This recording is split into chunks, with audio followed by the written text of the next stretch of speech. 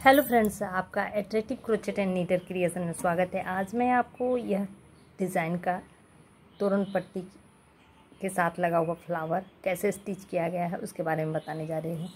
यहाँ पे मैंने हाफ़ पोर्शन बना कर बताने, बताया है। जैसा कि पहले से मैंने यहाँ पे one, two, three three flower को इस तरह से स्टिच कर दिया है। इसे बनाने के लिए इसका तोरण पट्टी और साथ में ये फ्लावर का लिंक जो है इस वीडियो के डिस्क्रिप्शन बॉक्स में दे दिया गया है। आप उसकी मदद से ये फ्लावर और ये तोरण पट्टी को बना लें। इस वीडियो पे मैं इसे स्टिच करने बताने जा रही हूँ। तो आइए इसे जाने। इसे स्टिच करने के लिए हमने यहाँ पे ग्रीन कलर ग्रीन कलर का ऊल लिया है और ये फ्लावर हम तैयार कर लेंगे। और फ्लावर तैयार करने के बाद ये देखेंगे। सबसे पहले तो हम एक बिना स्टार्ट करेंगे नीचे तरफ़ से, जैसा कि इसमें दिखाया गया है। नीचे से स्टार्टिंग है तरह से। तो इसे बनाने के लिए यहाँ देखेंगे, ये सेंटर। सेंटर के जस्ट बगल वाले हुक पे इस तरह से डाल के और हमें एक हुक बनाएँगे पहले और इस हुक को इस तरह से निकाल लेंगे। और फिर इस पर इस तरह से निकाला। निकालने के साथ पे अब इस पर हमें चैन लेने हैं। One two three three chain लेने के बाद इस पर डबल लेंगे और यहाँ देखेंगे। यह वाला जो दो चैन का जो ये बना हुआ है हॉल उससे निकालेंगे और इस पर हाफ़ ट्रिपल क्रॉस या दो फंदे को रखेंगे। अगेन टू टाइम लपेटेंगे और फिर इस तरह से वन टू थ्री का चैन रखेंगे। नेक्स्ट पे वन टू थ्री ये, देखिए यहाँ से फोर हो गया। अब इसे हम बंद कर देंगे।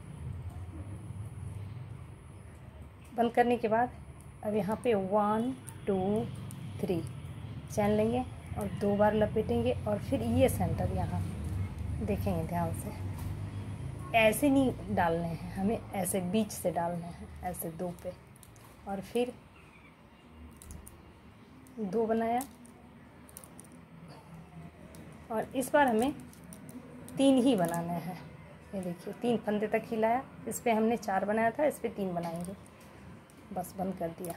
अगेन एक बंद कर दिया, बंद करने के बाद वन टू थ्री और फिर ये बीच वाले सेंटर से निकालेंगे और इस तरह से दो फंदे। इस तरह से तीन फंदे। इस तरह से हमने यहाँ पे वन टू थ्री थ्री बना लिया। अब इस पर हम नेक्स्ट फ्लावर को स्टिच करेंगे।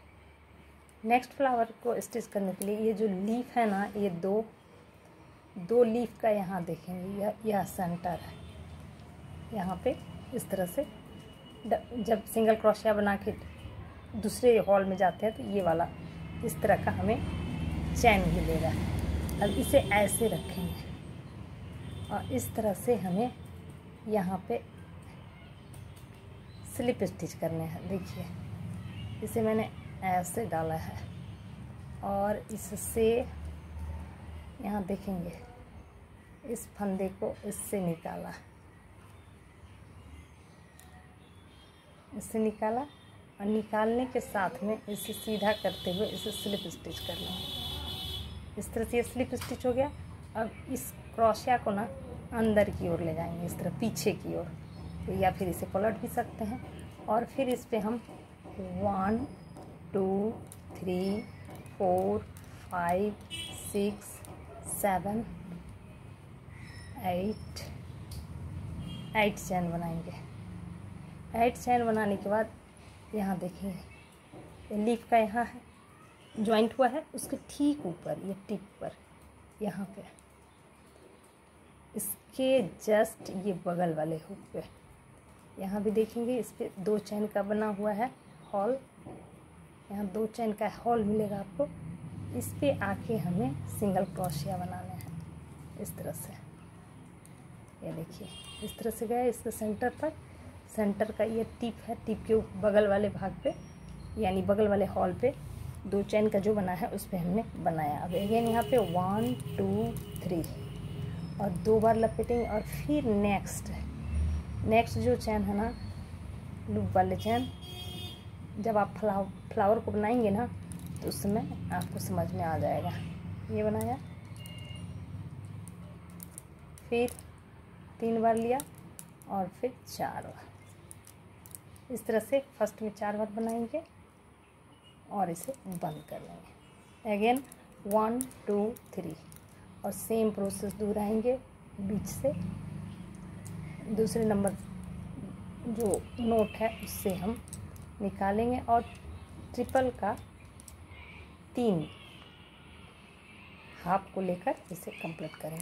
अगेन वन टू थ्री दो बार लपेटा, फिर इस तरह। अगेन वन टू थ्री इस तरह से फिर हम रिपीट करते हुए ज्वाइन कर लेंगे। जैसा कि मैंने यहाँ पे, जैसा कि मैंने यहाँ पे वन नेक्स्ट टू, थ्री, अब इसमें हमें फोर फ्लावर लगाने हैं। मैं फ्लावर लगा लेती हूँ, फिर आगे का प्रोसेस बताती हूँ। सेम प्रोसेस से फिर हमें यहाँ पे इस तरह से स्लिप करने हैं।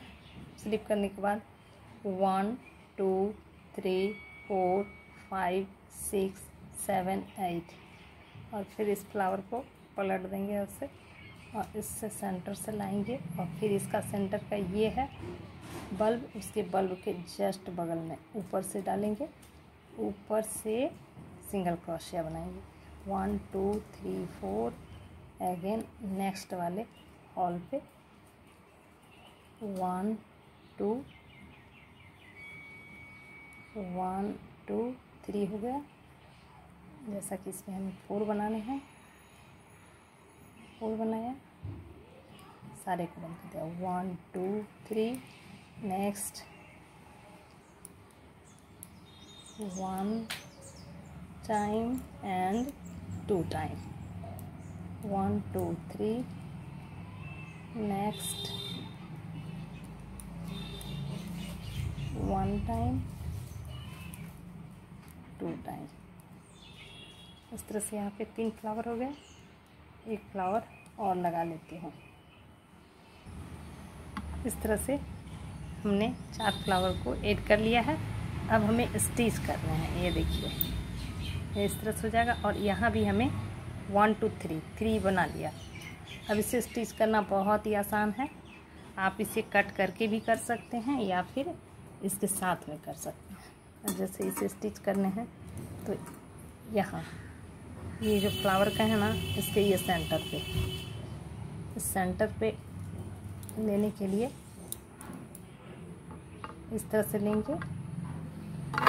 इसे मैं कैमरा के पास ले आती हूँ। अब देखेंगे इसको। ये जो हमने टेन चैन का बनाया है टेन चैन के ये फाइव वाले one two three four five five वाले भाग इस पे हुक पे इस तरह से स्लिप कर देंगे और इसे कट कर लेंगे। ये हमारा, ये ज्वाइंट हो गया है। इस तरह से कट करके इसे खींच लेंगे और इस धागे को पीछे तरफ़ से